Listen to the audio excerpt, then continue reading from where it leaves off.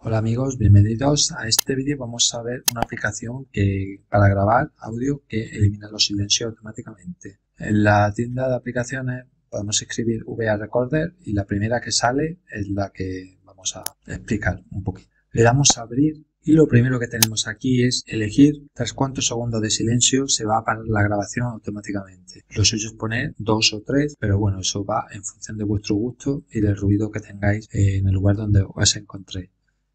Si dejo dos segundos, cuando la aplicación detecte que hay dos segundos de silencio, pues la grabación se parará automáticamente. El threshold nos va a servir para definir, para indicar a la aplicación lo que es silencio y lo que no. El threshold, si se fijan, aquí hay una línea verde, ¿no? Pues cuando el ruido supere la línea verde, disparará la grabación, comenzará a grabar. Entonces, si lo ponemos así a tope, nunca grabará porque el ruido nunca superará el threshold. Vamos a darle a grabar, que es este botón de aquí, y como pueden observar, hay una línea roja, esa es la que se corresponde con mi audio, con lo que estoy hablando. Por lo tanto, como le cuesta muchísimo superar la línea verde, que es la que marca la grabación, entonces tengo que bajarlo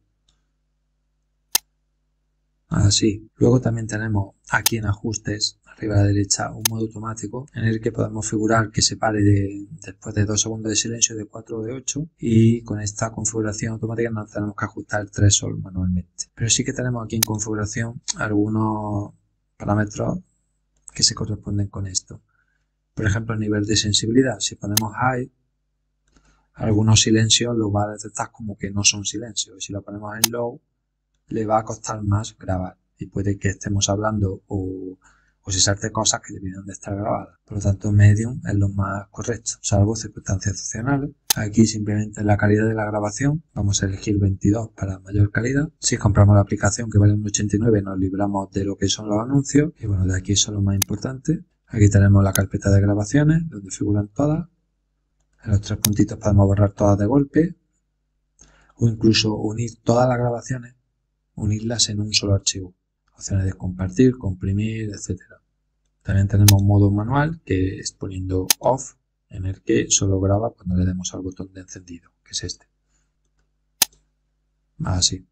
Bueno, resumiendo, un modo de funcionamiento correcto como viene en manual, con dos segundos está bien, y el threshold, que es la línea verde, que esté siempre por debajo de la línea roja que va a salir cuando hablemos. Ya si tienen cualquier duda me la dejan en los comentarios eh, espero que tengan un buen día. Chao, chao, chao.